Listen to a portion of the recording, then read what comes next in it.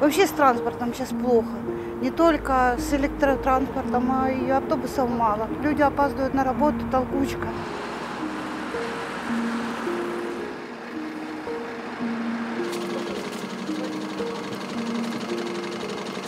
Автобусами тоже пользуюсь, э, да, и на машине езжу. Э, если недалеко куда-то, могу пройтись.